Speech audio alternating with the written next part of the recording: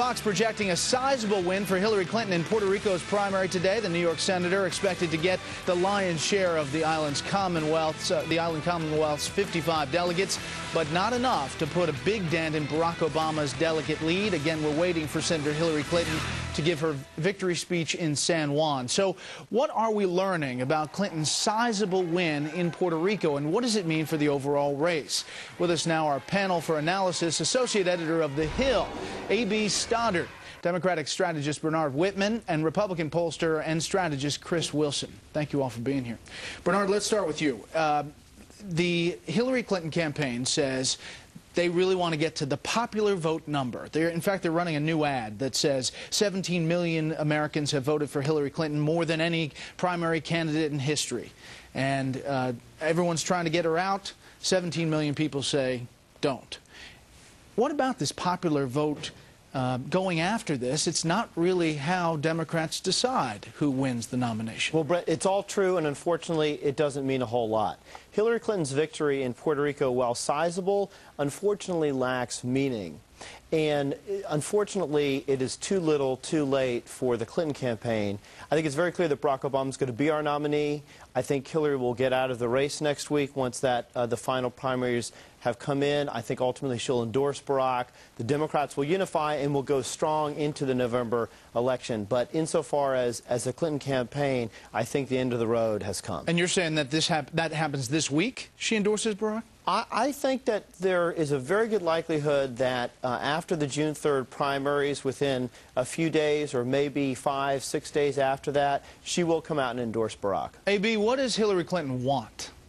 I, well, I think that she really wants a, a, kind of a, we might see it as a hollow victory, this victory today, but I think that she's working hard in the final contest because she does want this kind of moral victory.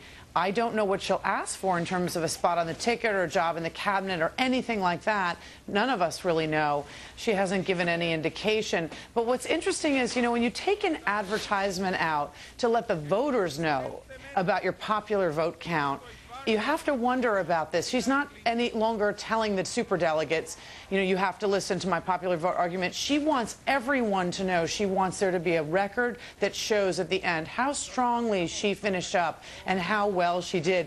That leaves the possibility, I think, that she tries to come back again in a few years. Chris, with the DNC decision yesterday, the magic number is now 2,118 delegates. Uh, and again, Barack Obama inching closer to this. With this popular vote argument, the Clinton campaign is saying they want to convince super delegates. There's some 219 left. She would have to get 90% or more of them to come with her. It's well, just not realistic. It's probably not in that facet, but there is a chance that some of them could switch and move back over to Clinton, and that's what she's hoping for here. It does give her, this victory today does have some meaning because it gives her the moral authority to, at the end of this process, to say, I should have been the nominee. It also gives a little bit of what I would call the I told you so strategy, which I think the Clinton campaign is starting to practice, which is at the end of the day, because you look at some of the weaknesses that are being developed around Obama, and it gets back to some of the specific controversies that continue to plague him. Reverend Wright, now uh, this week's new one coming from his church that he resigned from yesterday.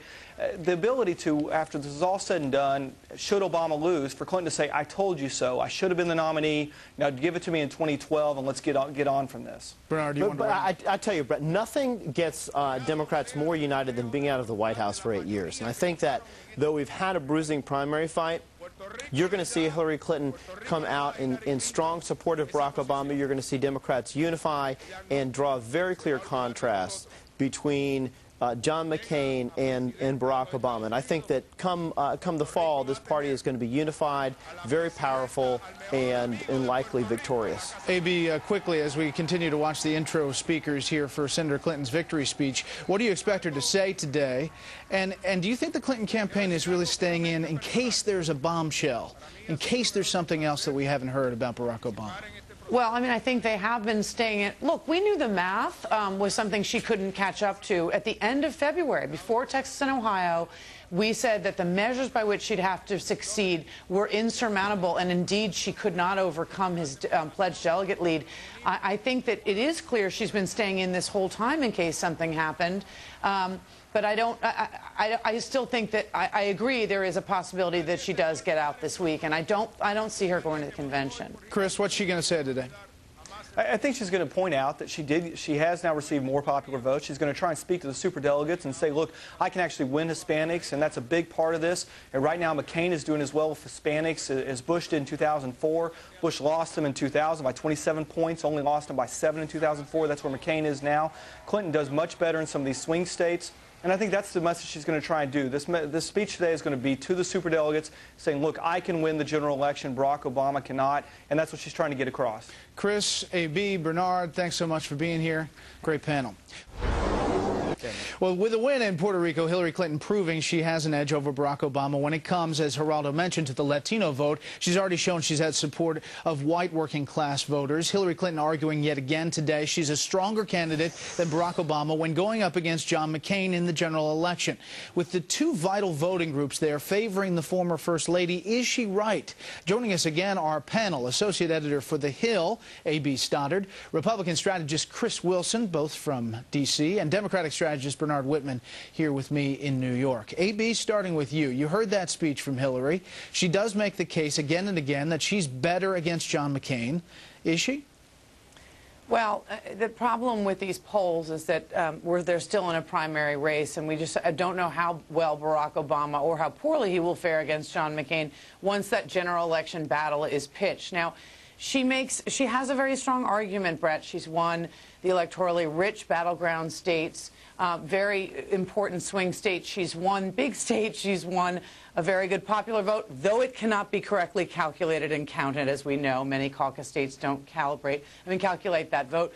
Um, she has a good argument, and that's why you heard her say today uh, we are winning the general against John McCain. It's sort of a good thing to say. And, and we've won the popular vote. And then she says the people have, have spoken and you've chosen your candidate. And she's presenting herself as that candidate because she hopes that her strong, compelling arguments, though they don't represent a lead in the pledged delegate count, will still sway those superdelegates. I don't think that we think it'll happen. But, but she, tonight in that speech, she was still making that case very strongly.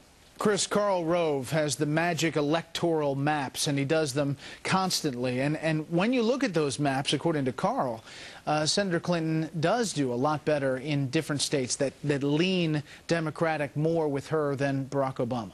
Well, she does. And I think the most fascinating aspect to, the, to me about what we saw today in Puerto Rico and what we've seen recently in Kentucky and West Virginia is that Clinton is not just winning these primaries, she's winning them big. Obama is, for all intents and purposes, the nominee. He's been up for a while. He should be winning these in the same way that John McCain was winning when Mike Huckabee was staying in at the end. And that, that's not occurring. And in essence, what you have here is the political equivalent of a team backing into the playoffs. He's sort of stumbling along, and he's just barely going to make it at the very end because of what he was able to do in the caucus states. And that's not, I think, a, uh, an exciting prospect for Democrats as they look for what should be a fairly easy general election win for them that is slipping away due to the process that's occurred. Bernard, what about that? I mean, uh, the six o'clock or earlier uh, shows called it wheezing to the finish. I mean, what do you think about that? Well, look, I, I think if you listen to what uh, Hillary said, the, she thanked and, and recognized Barack Obama before she talked about her victory. She talked about how important it was to elect a Democratic president before she talked about her victory in Puerto Rico. And I think that with the revelations coming out this week in Scott McClellan's book, confirming what we all suspected, that the Bush administration has lied, misled, and deceived the American people. It's clear that John McCain has been a co-pilot on the BS Express, not the Straight Talk Express, for the last eight years. I think the one person who actually is more depressed about this than Hillary Clinton, Bill Clinton, or Chelsea Clinton is John McCain because he realizes now, come this week, he is actually going to have to face a united party, a real candidate, and I think it's going to be very tough for him uh, to go up against Barack Obama in November. We should point out there's a lot of pushback at the White House about Scott McClellan's book, as you can imagine. Uh, thank you, Chris, Bernard, AB, as always. Great panel.